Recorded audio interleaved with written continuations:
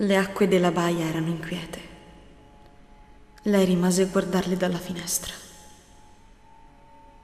Suo fratello se n'era andato, lasciandola sola.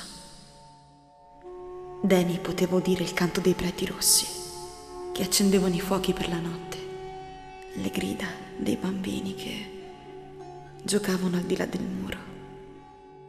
Per un momento desiderò essere là fuori con loro a piedi nudi, senza fiato, vestita di stracci. Desiderò di non avere né passato né futuro. Da qualche parte oltre il crepuscolo, al di là del mare stretto, si stendeva una terra fatta di colline verdi, di pianure piene di fiori, di grandi fiumi. Suo fratello usava un nome molto semplice la nostra terra. La nostra terra per diritto di sangue, che ci è stata portata via col tradimento, ma ancora nostra, per sempre nostra.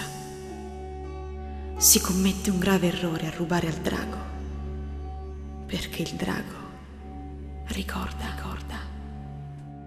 Forse era vero, forse il drago ricordava.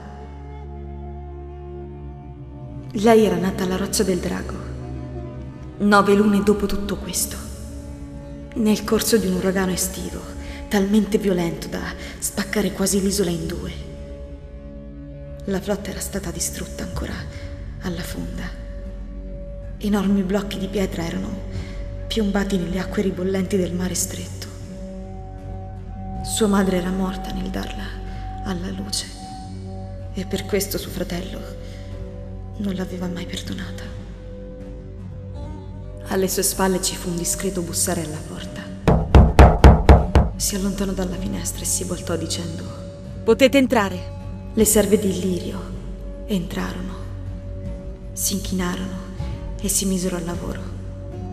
La ragazza sfilò la tunica di cotone grezzo dalla testa di Deni e l'aiutò a scivolare nell'abbraccio liquido. La schiava anziana lavò i lunghi capelli argentei, sciogliendone i nodi. Una volta che fu pulita, l'asciugarono. La giovane le spazzolò i capelli finché non furono risplendenti come argento. La donna anziana invece la profumò con l'essenza penetrante dei fiori, sui polsi, dietro le orecchie, sulle punte dei seni e infine in mezzo alle gambe. La vestirono con l'abito inviato da Magistro Illirio e le calarono sul viso il velo di seta color porpora scuro. La schiava giovane le infilò sandali dorati a piccoli piedi e le fece scivolare attorno ai polsi braccialetti d'oro incrostati di ametiste. Ultimo venne il collare, un pesante ornamento d'oro massiccio. Lei studiò la propria immagine riflessa nello specchio.